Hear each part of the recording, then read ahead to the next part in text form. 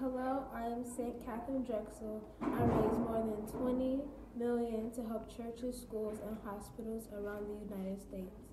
My first miracle was in 1970 when I cured a boy's eardrums. I was canonized in the year 2000 on a miracle of me curing a little girl's deafness. I am the patron saint of racial injustice and philanthropy.